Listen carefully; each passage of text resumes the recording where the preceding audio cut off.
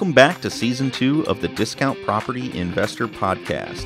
Our mission is to share with you what we have learned from our experience and the experience of others to help you make more money investing like a pro. We want to teach you how to create wealth by investing in real estate the Discount Property Investor way. Make sure you never miss an episode and download the Discount Property Investor app in Google Play or iTunes today. To jumpstart your real estate investing career, visit freewholesalecourse.com, the most complete free course on wholesaling real estate ever. Thanks for tuning in.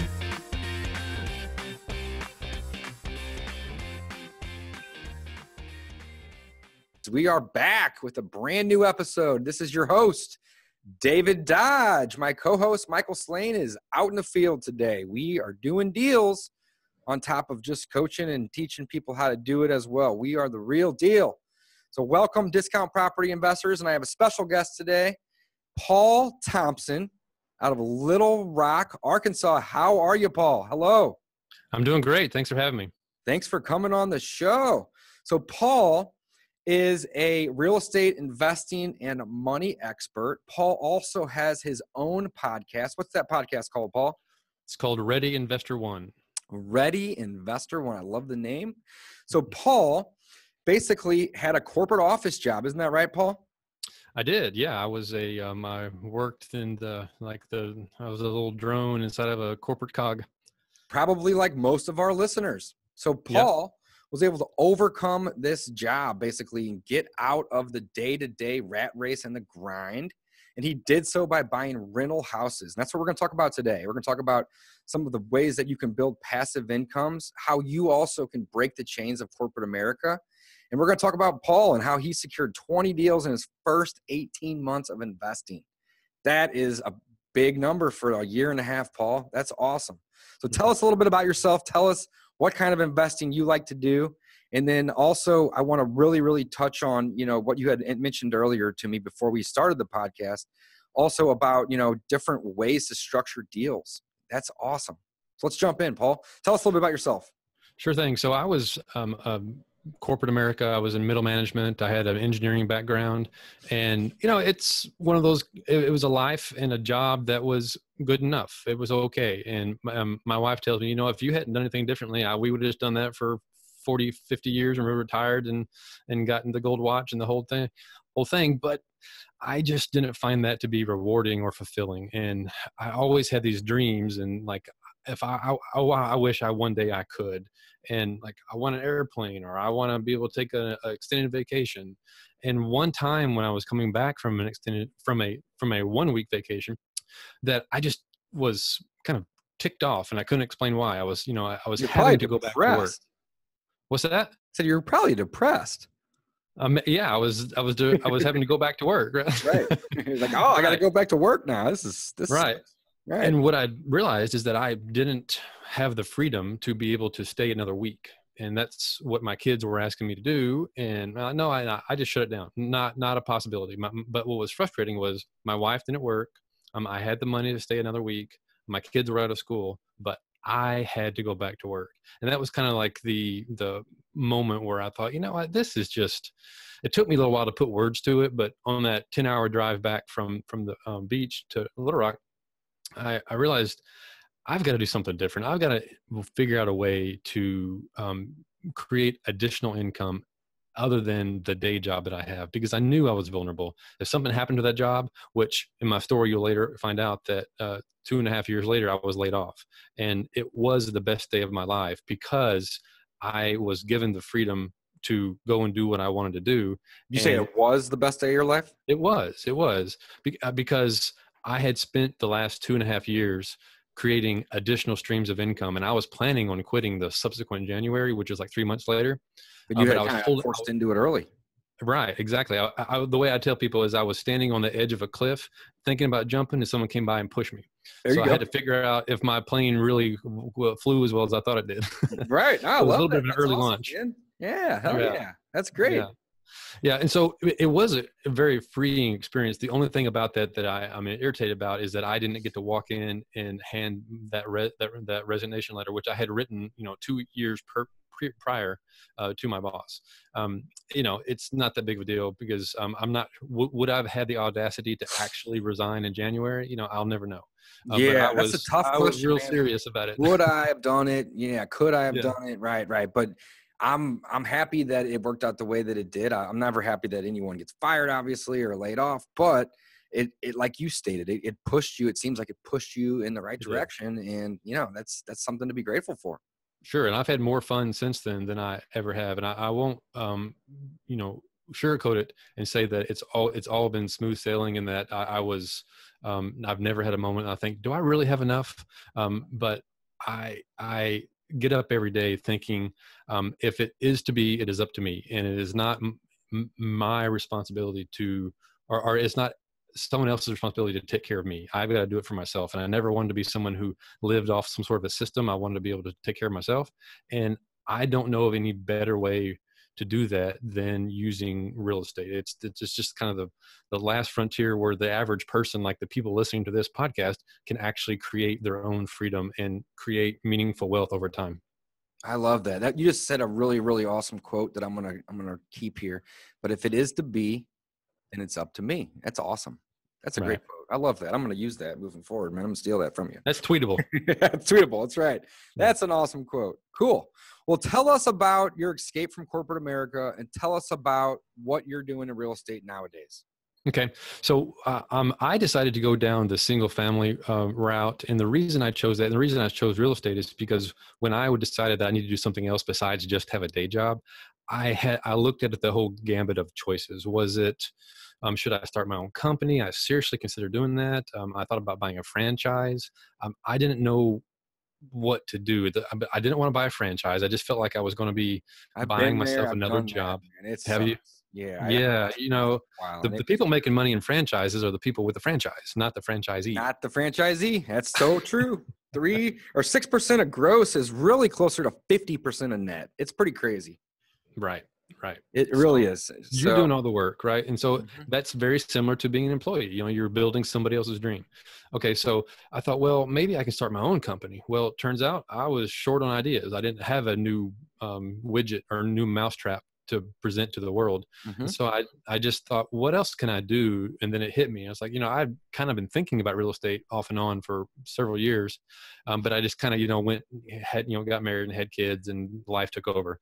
And then I kind of looked back and thought, oh yeah, that that would that should still work. And I remember in 2008 when the the collapse was happening, I thought to myself, this is an opportunity of a lifetime, and I am not prepared. I I was largely not affected. Thankfully, my job was not inf- uh, impacted, and all the investments that I had, I just let them ride and never never thought about it. Okay. Which was the smartest thing that you could have done, um, if you're into the stock market. But if you were in real estate, that was a time to buy. Right. Um, but I didn't know how, and so I spent some time doing some what I was called armchair um, reading and learning about it. But then life took over and whatever, and didn't do it for another like five years. And so five years later, I thought, you know what? It's it's only going to get the, the market's only going to continue to heat up. Now's the time to get in. You know, like the, the when, when's the best time to plant a tree? It was it was 20 years ago. Well, if it's if you, if you haven't, then do it now. right. um, That's a great another great quote. When's the best time to plant a tree? Twenty years Yeah. ago. That's right. Absolutely. I love well, it. it's the old saying, saying in real estate. You know, you don't wait and buy real estate. You you you um you Buy real estate and wait. Right, right, Right. So, well, I thought, well, I've been waiting for too long. So I, after I learned more and done some more study, I thought, you know, this is a good idea. And single family is something that I understand. That's not a big um, stretch for most people to understand what aspects of a house that people want. And Right. I- so I don't know what that is for mobile homes. I don't know what that is for power, apartments, but mobile or single family, we understand. And I like all the potential creative exit strategies that the single family gives you. You can go um, and sell it to another investor, or you can sell it to a, a retail buyer, which gives you typically a, bit a bit of a premium.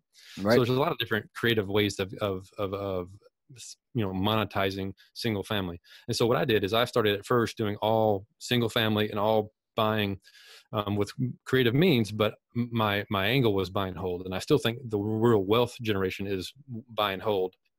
But no one tells you about those really lumpy expenses that buy and hold properties tend to have. And so when you're getting when you're scaling up before you get to about 20 or 30 properties um, you don't have enough properties to help kind of insulate you from those big expenses. So you know your, your income comes in little drips and then your expenses come in big spikes. It's a great point. You you nailed it. I can't agree more so you kind of need enough uh, volume. You know, I, have heard the thing: you either need to do 40 or 40.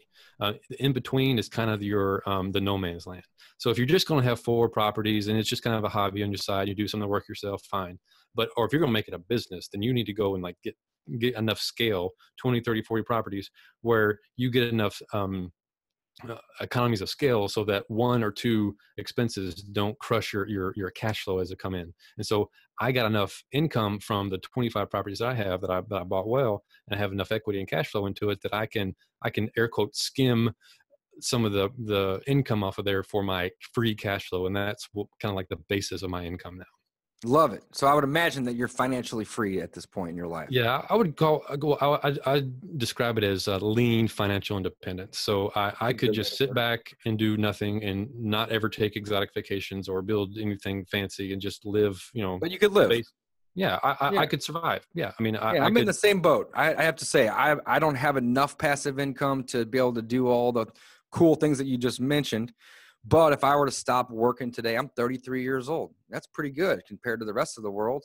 If right. I were to stop working today, I'd have enough passive income to cover the mortgage, cover the bills, cover the car payment, you know, and have enough money left over to eat and take a couple, you know, little trips out to the, you know, take my wife to dinner, so on and so forth. I could live. Right.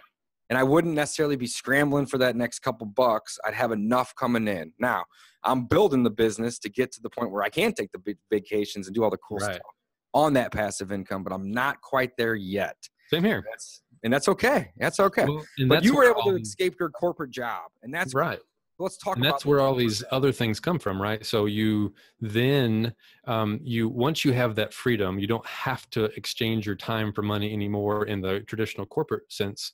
Then you can think okay now what can i do in addition? I'm already marketing for properties. I'm already buying uh, rental properties. Well i can decide to flip some. I can decide to wholesale some or wholetail whichever one you prefer whichever makes sense for your scenario. Mm-hmm. and like you're in the midwest. I'm in the mid south maybe you might call it the numbers just tend to work where we live and there's so they many do. people they you know even with the hot markets that we're into now you can still buy properties where the numbers work well below the 1% rule in the right neighborhoods you know class b neighborhoods b plus a minus is where i want to keep my rentals forever but that doesn't mean i don't play in class c properties where i can i can get it under contract then either take title to it and wholesale it or wholesale or wholesale it um, or when it's the right deal flip it because there's there's a lot of you know typically for me if it's if if i can make 20 or 25 to 30 net of everything um, on a property then I'll, I'll i'll i'll you know flip it. I'll actually do the rehab.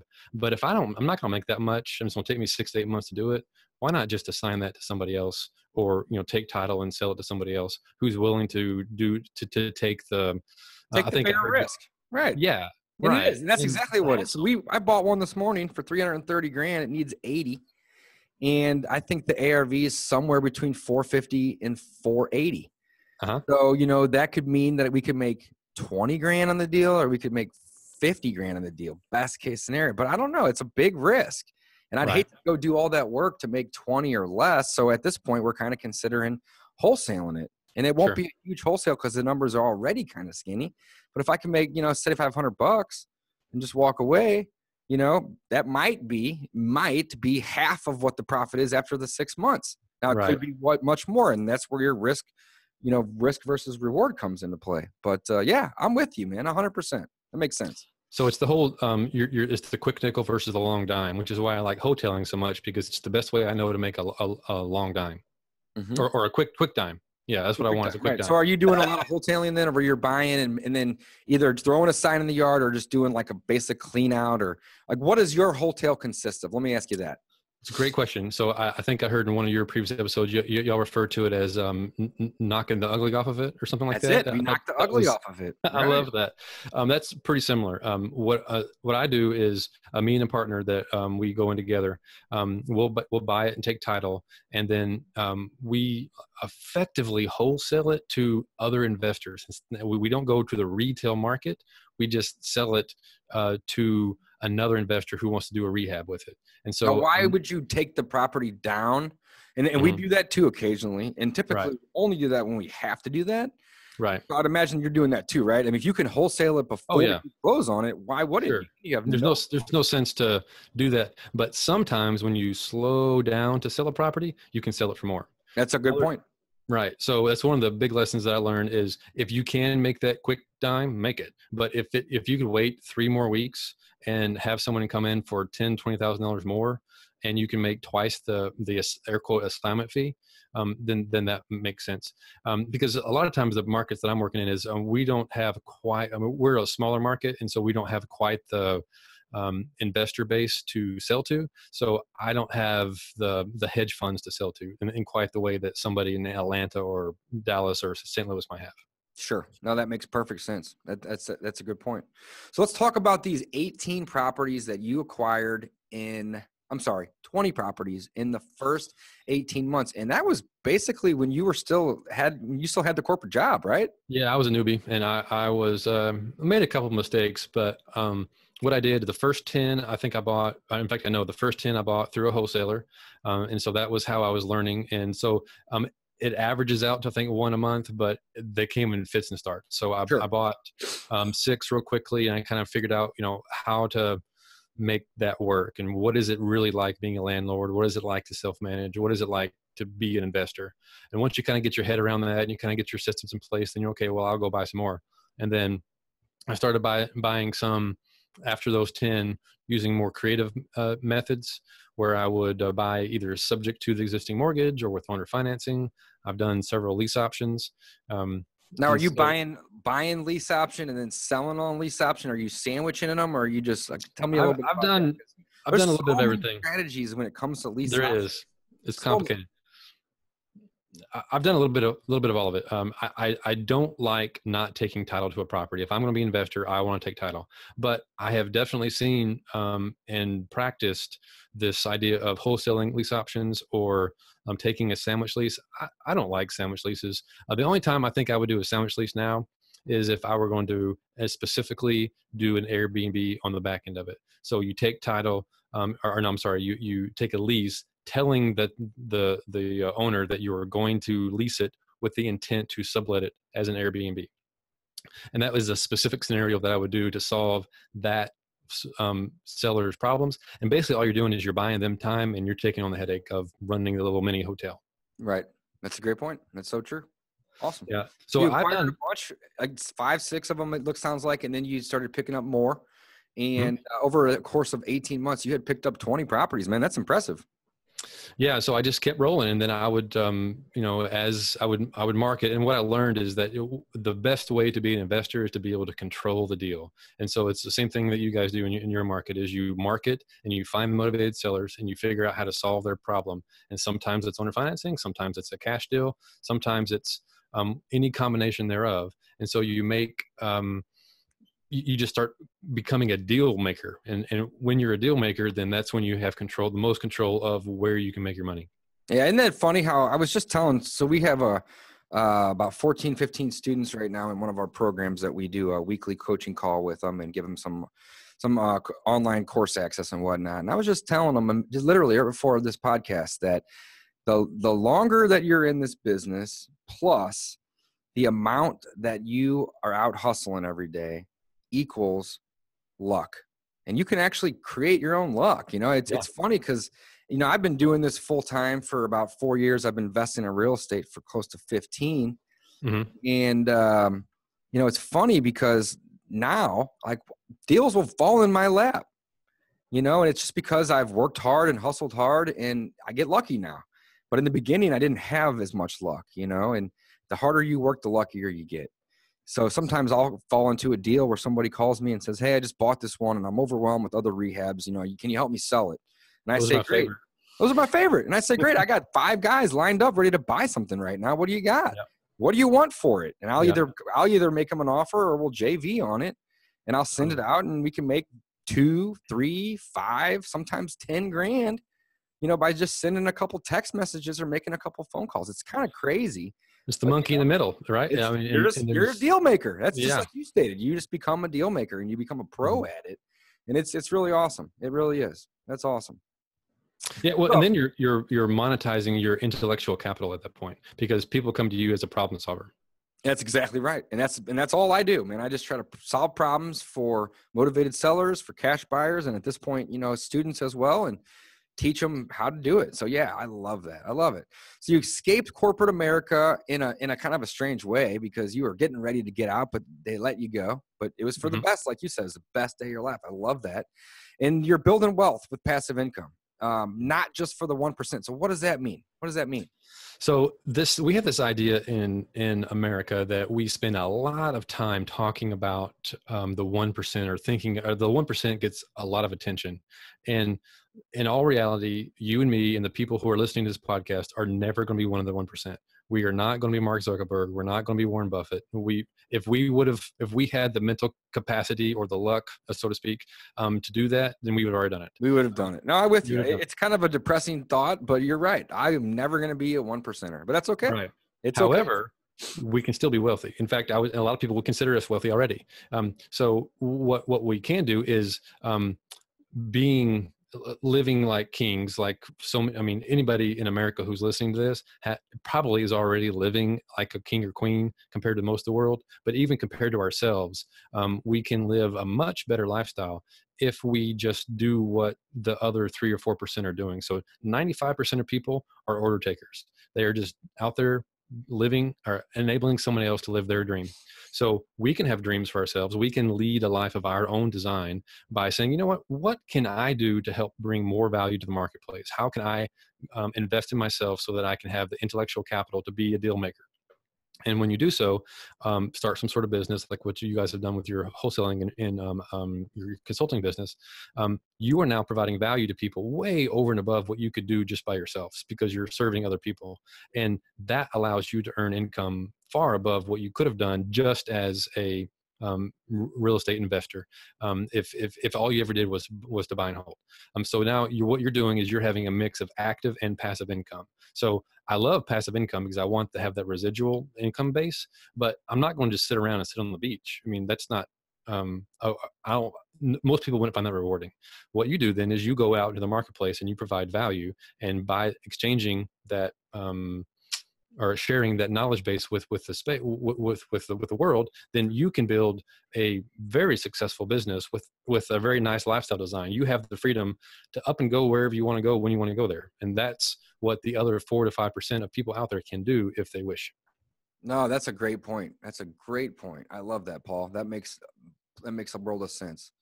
I love that. So let's talk about um let's talk about what we were talking about before we started the podcast on you know the, the great thing about single families and how there's some you know there can be different strategies not only to buy those properties but to sell those properties and how you know the average person really should be leveraging these different strategies because not everybody has a ton of money in the bank and not everybody knows another individual that has a ton of money in the bank, right. which they can essentially convert into becoming a private investor for them. Mm-hmm. So let's talk about some of these other strategies and let's hear some of the strategies that you are using to acquire properties. I'd love to hear that. Okay, sure. So I kind of have a hierarchy. When I'm looking at a property, uh, here's my um, order of preferences. I want to buy the property with owner financing first. If I can get owner financing, that's my favorite way to buy properties. If for some reason that doesn't work out, which many times it doesn't, most people don't naturally want to sell owner financing, then I'll try and see if I can do subject to the existing mortgage. And when it makes sense. I, I don't make that. Uh, I'm I'm not one of the typical guru types that that um, tout that as this like um, silver bullet solution. But that's the next in the hierarchy because that's when I'm using somebody else's financing. Um, second, if that doesn't work, then I might try and then I'll go down to okay, can I do a cash offer? And then if the cash offer um, is what works, um, then I'll figure out how to uh, monetize that particular deal that I've taken um, uh, taken out under contract. So then I monetize it. Do I Do I assign it? Do I take title and slow down and make more off of it because I can have a bigger buyer base, or can I sell it retail? Or do I flip it by putting some work into it and, and assigning it, or, or, or selling it to the retail market in fixed up shape and complete fair market value ARV? Um, those are kind of like the, the hierarchy that I go down. And then if I can't solve any of those problems, I'll do the much more creative aspects of lease options and taking options and whatnot. But that's usually um, I'm actually stepping away from those more and more because they're they're oftentimes more complicated and, and they drag out longer than I care. They drag to. out, and it's it creates a lot of work. But I love I love what you had like how you had put that. So you start your number one goal is to buy on owner financing. Yep. And then you stated that if that doesn't work, then you'll try to buy it subject to. And then right. last but not least, Yep. you make the cash offer, which is kind of the opposite of what most people do. Right. Most people come in with the cash offer, and if that doesn't, and this is at least how I do it, I come in with the cash offer first. And that doesn't work because it's usually very low. I got to yep. buy great and sell good as a wholesaler. So I'll come up with the cash offer 1st mm-hmm. and then I'll offer, and then I'll see, okay, well, maybe I can pay you a little bit more if you can, you know, finance it to me or if maybe I can just pay you to kind of go away and but keep your your existing financing in place, which is right. Too. But you kind of flip that upside down, which is interesting to me. You come in with, hey, I'm going to buy this owner financing first, and if that doesn't work, then I'm going to do subject to, and then if that doesn't work, then I'm going to make you the cash offer. So it's basically the exact opposite of what I'm doing, but it yeah. works, and I love it. And there's really no right or wrong way to do it. There isn't, but what's cool about all the time, there's no right or wrong way to do right. it do what works for you and what makes money. And that's it. That's all there is to it.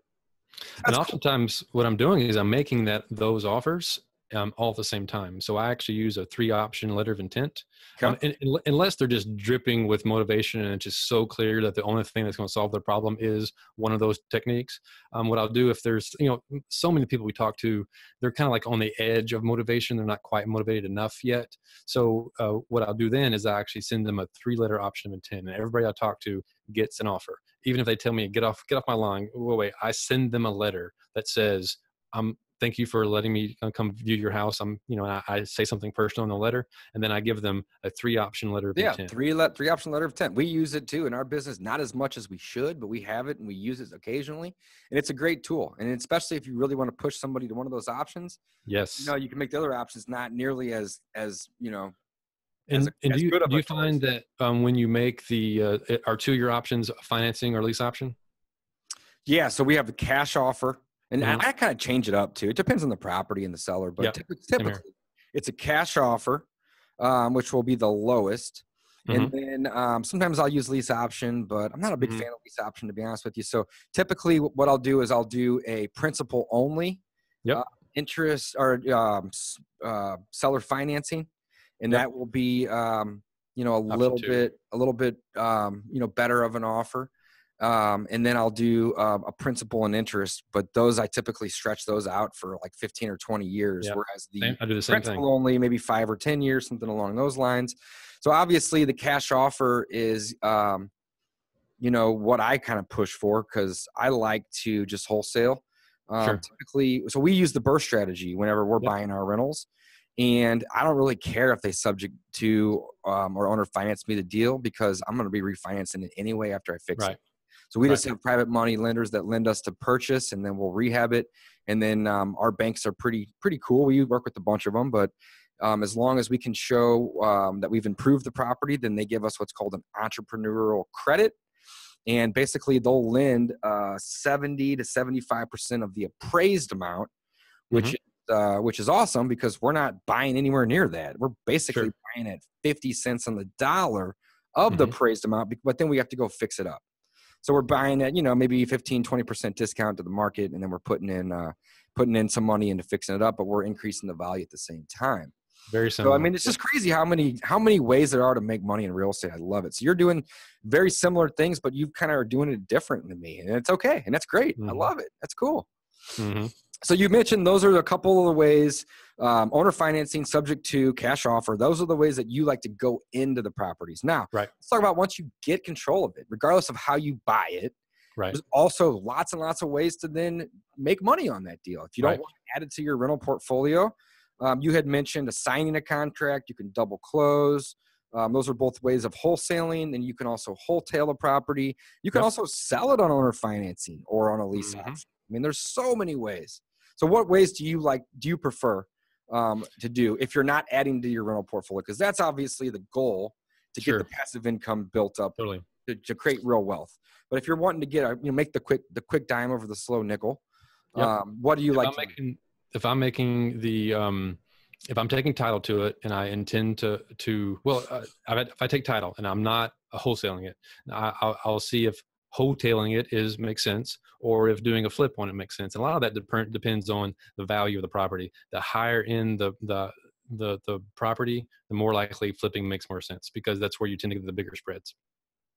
Um, on the on the lower end, um, wholetailing is just um, so easy and you can sell it almost near fair market value um, even when it only needs paint and carpet and so i'll let somebody else go do go do put lipstick on a pig and i don't have to do any work and sometimes I, I don't even i don't even put utilities on i mean I, I just wait i just i just let the market bring me the highest offer um, and so and, and and that might only be a month or two um, sometimes i'll um, if it doesn't sell as fast as I think it should, then we'll, you know, take the ugly off of it. Just, like you say, I really love that. I'm gonna Yeah, start I- using that in my, in my business. Use it, man. Knock the ugly off it.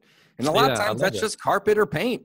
It's it's Yeah, li- it's- it's just lightweight, right? Yeah. Sometimes it's a roof and windows. Sometimes it's uh, you know, um, it's fixing a driveway. You know, it just Yeah. it, it, it is exactly what it states. Knock the ugly off it. Get and a lot of times it might be just fixing the biggest problem. So sometimes you might have a property that yeah, it might need paint, carpet, might need a kitchen, it might need a bath, but it's got a really bad foundation issue. Sometimes we'll buy a property just fix that issue, and then we'll sell it to a rehabber because all the scary's gone at that point.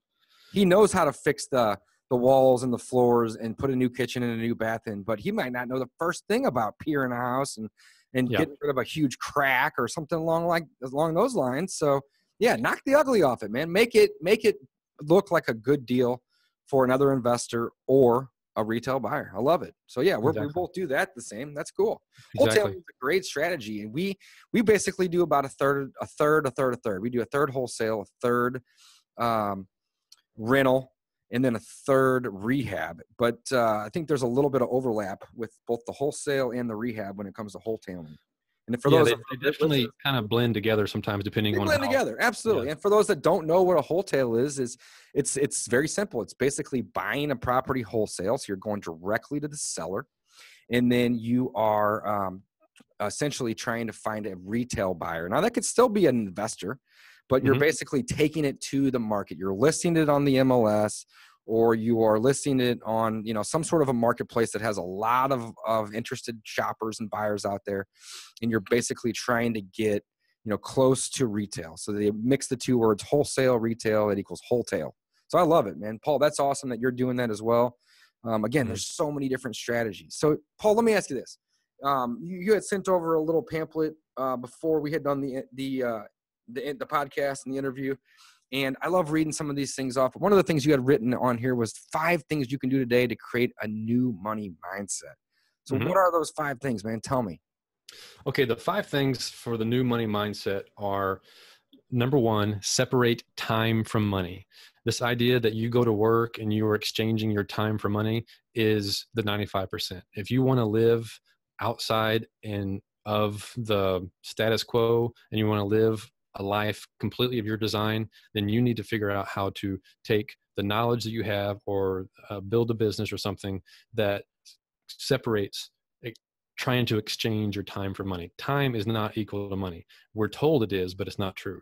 Um, How how if time were money, then how, how is Warren Buffett so so wealthy? He learned That's he learned such a great to, point. Got the same amount of time in the day that we do. He learned how to make money while he sleeps. And once you learn how to make money while you sleep, then that's how you can create serious wealth. And so that's a money mindset that you want to switch. And number two is switch from looking for piles of money to finding streams of money. So Okay.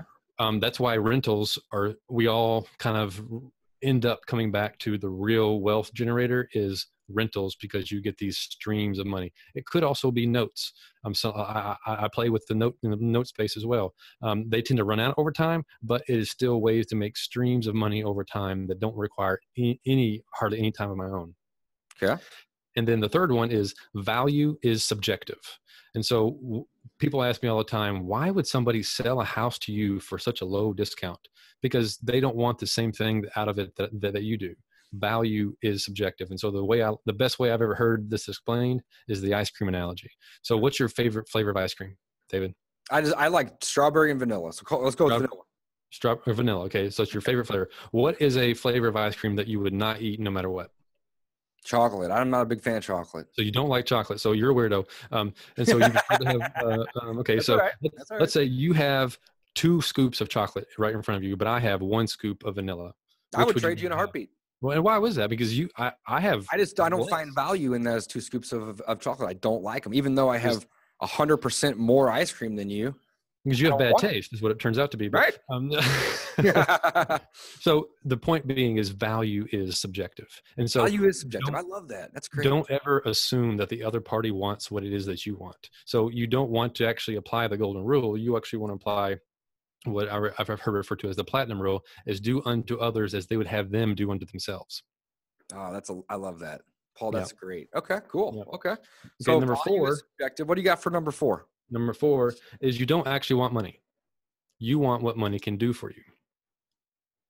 So I, I, can't I can't disagree with you on that one. That's a good one. So the best way I've found to make that point clear is um, we've talked about Warren Buffett. I think he's what 87, 88 years old, really old, one of the richest men in the world. Would you trade places with him right now? If you could live in his body, have all his wealth, do whatever you wanted to with your day and the money, whatever you want, would you trade places with him? That's a great question. I don't think I would. I don't know if I if I really want to be 87. I like being 33. That's right. You don't want the money. What what you want is um you you want what money can do for you. And right. so if I just gave you money, that doesn't make you happy. You want what money can actually do for you. Right. And that's a that's a man, Paul. You nailed it. That's a really good point. I love that. Yep. Okay. And so the last one is you have plenty of money for all the things you truly want. Now so, explain that to and, me real quick. And that's the one people probably push back on on, on me the most. And I tell my same coaching clients this a lot. And I say, um, because this is what I tell people all the time: um, go and find a deal, and then go and find the money. And this is the way I try and explain it to them.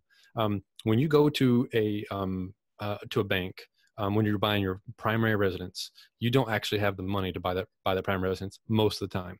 But it's completely normal for people to to say, okay, well, I intend to buy it, so I'm going to go um, get a bank loan. Yeah, I'm going to go get a loan contract. Right. right. And I'm gonna, that's okay. We, that's acceptable, right? But people won't do that for an investment property. It, it, it scares them. I, am not going to make an offer on, for a property that I don't have have yet. And, and they say, well, when I'm working with a bank, they have that money reserved for me. No, they don't. It's a pre-approval. They that's not really worth it. that's right. That's so true. Right. The pre-approval. That's why we don't have it like, for you. They're waiting for you to come in and sign all the papers. Yeah, and once the property's under contract, now you have something of value. Now you have something that is marketable and has equitable value in the marketplace. Then you take that, and then they're willing to go through desktop underwriting. Then they're ready to take it to committee and figure out if they will actually then lend you the money. Right. The That's true. They won't do that prior though. No. They give you what's called the pre-approval. That's such a great point. I love yeah. well, when, when we go and buy uh, investment properties, we do the same thing. Well, not I'm going to go to a private lender. Or I'm going to go someplace else. Go go talk to a private lender and say, um, "Would you lend me a hundred thousand dollars on the rental property?" But I don't know what it is yet. Just go ahead and lend. Probably not. They're going to no, say, no. They want to see the buying. deal. Right. They want to see the deal. So my when I say that is if you really want money uh, or you really want something badly enough, you will go and do whatever it takes to go get it. But you have to go get that thing first to find the money. Such a good point, Mark or Paul. I'm sorry, Paul. I'm an apostle uh, or a disciple. no, no, no, no. I was at a house this morning and I bought a house off a guy named Mark, so I just have his in my head. Paul, that's awesome. I love the five things, and that's things you can do today to create a new money mindset. So let's review those. Those are such a great thing. Separate time from money. Number mm-hmm. one. Switch from piles of money to streams of money. Yep. That's probably one of my favorite. Value is subjective, and that's a great one too. These are all good. You don't actually want money. You want what money can do for you. That's number four. That's great. And number five, you have plenty of money for all the things that you truly want. Because you just, mm-hmm. yeah, I love that. That's all those are awesome, uh, Paul. Very, very cool. So also you had mentioned why finding a tribe of like-minded people can, you know, set you up for for greater success. Can you can you explain that a little bit to me? Why does that? I don't understand that necessarily. Okay. Yeah. So, um, have you probably heard the quote from Jim Rohn that you're the average of the five people you spend the most time around? Absolutely. So it's a great go, quote. Most of us need to go upgrade our, our, our tribe, our group. And so, um, I make it a point to try and be the dumbest person in the room wherever I go. And, and if I'm that's not consistently the case, then I'm not going to the right places. And so I am always trying to find people who are pushing themselves and uh, taking uh, personal growth as a serious investment as much as I can. I'm, I'm a member of, I run masterminds for which that, um, that I'm like the, the, the, mentor of. I'm also a member, a member of other masterminds for which I am being mentored. Sure. And so I'm always trying to meet and find people because one of the greatest assets that we have is our network. Um, any business you're in, but especially real estate, is not actually about real estate. It's about the people that we meet in the deals you mentioned it before how did you how do deals just kind of land in your lap because you've met people and you've created value in the marketplace and they know that when they have a problem they can come talk to you and you can help put something together and i want to do that in my life in every aspect of life that i'm that i'm working in is i want to be surround myself with other people who might bring something to the table that i that i don't have so sure, um, sure uh, anytime I have a problem in my business that I want to grow and kind of I figure I'm kind of stuck, um, I take it to my mastermind and we go well, I'm in the hot seat and I ask and just this morning I was in the hot seat. I'm trying to grow my uh, my business. I'm trying to get my message out to the marketplace more. What should I be doing? I'm I'm limited. Uh, I feel in my messaging, and so they gave me several ideas of how to expand my messaging. And so awesome and and one of those is to be on more podcasts i mean so it's, it's no mistake of, of of what i'm doing is i'm trying to meet people and share value and figure out how i can help other people that i talk to and then and by some value in the in the in universe i'm not sure what it is when i give value away i get it back in spades but i can't predict how or where that's a that's a great point I, I feel the same way when i give value away i get it back in spades. That's a great way to put it. I totally agree. And, and you might not get it right back immediately, but it's going to. You can't really measure it, right? But there's measure it, but it comes some, back in some way, shape, or form yeah. at some point in time. Right. Yeah, That's and there's awesome. some. There's actually been studies that have tried to measure it, and they, as people who donate money, actually get that money back. Um, and like they, they came up with like some number like 19% back. Um, you know, so you get like a 19% return on your money or something. But yeah, it's kind of crazy. It, actually, no, no, I, I'm with you. I'm with you. Well, find a tribe. That's a great point. And I'm a member of some masterminds. You have your own. What's yours called? Level Up. Yeah, I have uh, one for uh, people who are trying to become, um, trying to take their um, business, their real estate investing business to the next level. I call it Level Up Your Life Mastermind. Level Up Your Life Mastermind. I love it, man. That's awesome. That's really cool. We'll have to put some information about that in our show notes today for cool. you. That sounds really cool. So, uh, Paul, couple couple uh, other things before we wrap up here. Um, three investments you can make this month to set you up for future wealth. What would you What would you recommend to any of the listeners and viewers that we have today that you know are you know maybe new to the game. They, they may not have 20 or 30 or 50 rentals like like we do. Mm-hmm. may not know a whole lot about, you know, about real estate just quite yet. So what would be three investments that you can make this month to set up for future wealth? So uh, and it was ironic is none of these will be real estate specific but this is apply to anybody so if you're listening to this and you're um, figuring out what is it that i can do to do investments and make a difference in my life this month. Number yeah. one is to invest in yourself. You have to be and this is um, um, from warren buffett and from other people like warren buffett is that you have to figure out how to make more value into the marketplace. And the way you do that is you invest in yourself first. It's this whole idea that, that you you put on them oxygen mask first so you can serve others around you. You got to figure out um, what skill sets that you need to be more valuable in the marketplace Love it. Okay. And number number two is invest in your network, and we've been talking about this a lot already. But you want to grow and improve your circle of influence by um, going out. If uh, I say go to the local REIA, go to chamber groups, go to um, conferences. I probably went to 30 plus conferences um, about real estate investing, and I thought I was going there to learn something, which I certainly did. But the biggest value I ended up getting out of that was the people I met there and the relationships that were forged. That's a, man. I feel the same way about podcasting.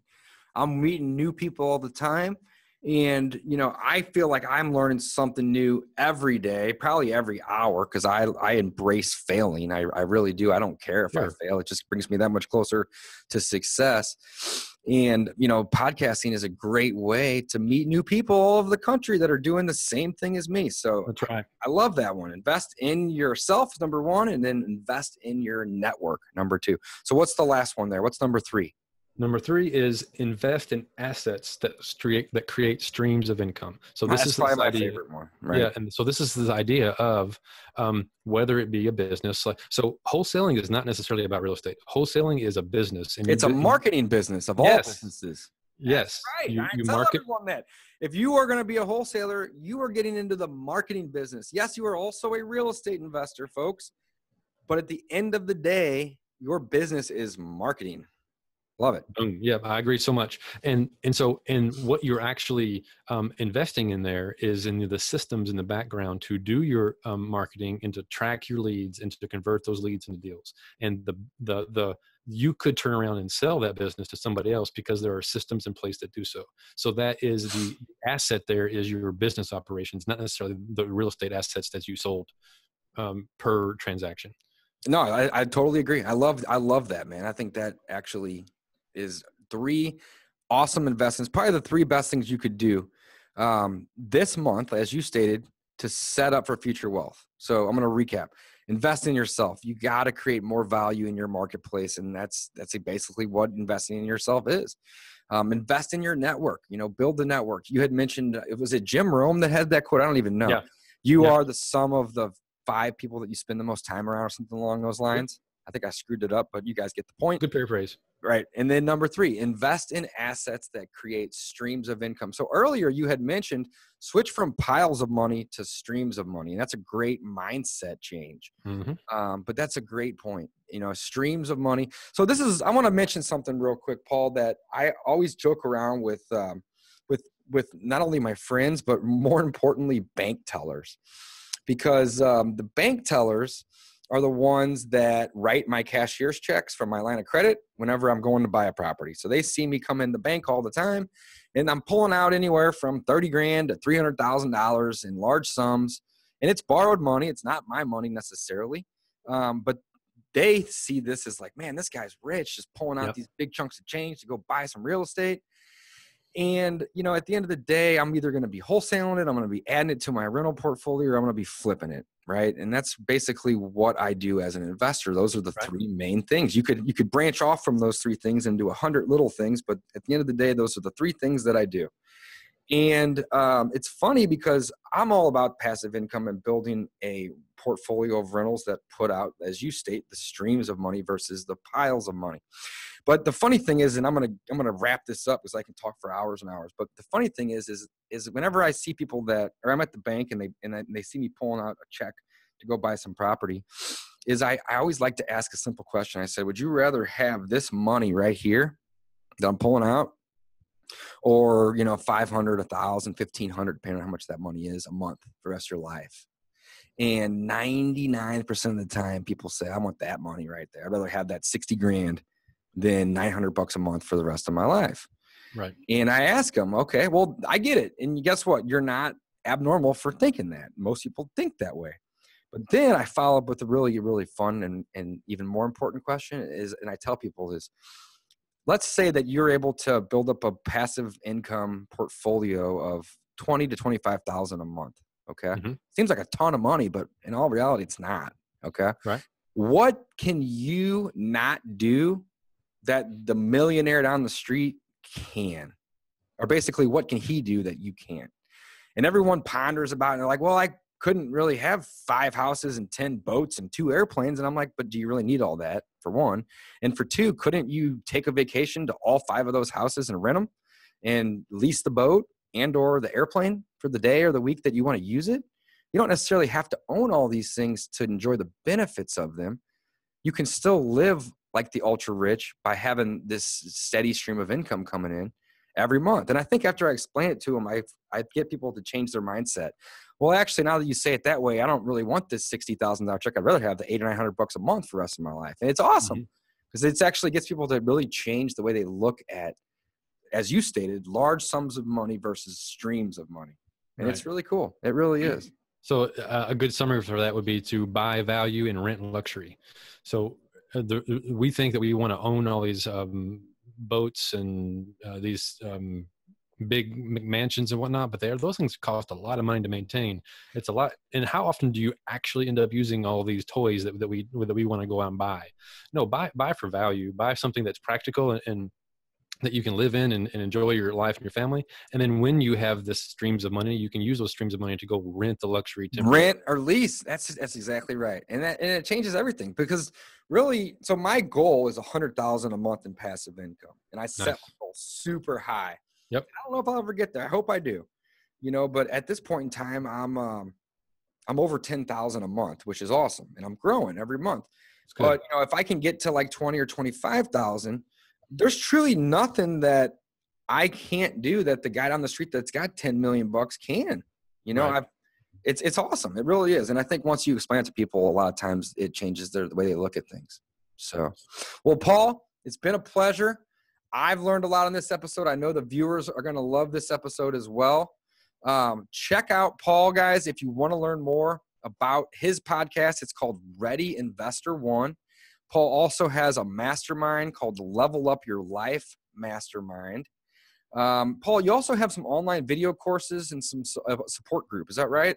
That's right. Yeah. Tell us a little bit about that if you don't mind. Sure thing. Yeah, I, I um, have my own course about how to become, how to start or launch your real estate investing life. To basically, I call it uh, REI Pathway, your roadmap to freedom, and it's the X, the steps from A to Z on how to do exactly what I did, which is use real estate as a way to branch away, branch out, and and launch your life outside of the corporate America life. And it goes into the details of actually how to do it, not just these conceptual ideas. And I wish I could do it.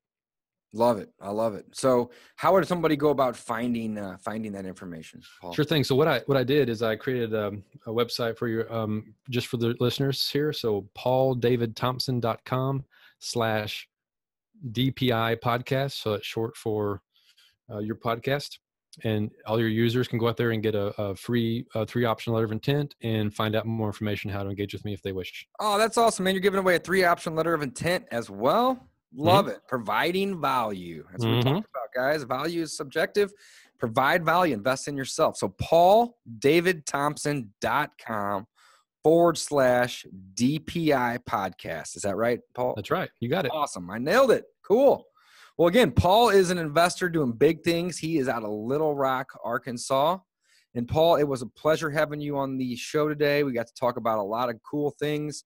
Um, I loved hearing the five things that you can do today to create a new money mindset, as well as the three investments you can make this month to set up for future wealth. Those provided me with a ton of value, and I am sure that they provided the the listeners and the viewers with a lot of value today too.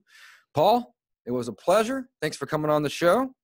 Until Thanks, next David. time. Is there anything else that you want to add before we end? I'm good to go, David. Thanks for having me on. It was a real pleasure. Yeah, it was a pleasure on my end too, Paul. Well, thank you so much. And until next time, guys, check us out discountpropertyinvestorpodcast.com. And if you're new to real estate investing and you want to learn how to uh, wholesale real estate, we have a free course, freewholesalecourse.com. Check it out, guys. Until next time, we'll see you then.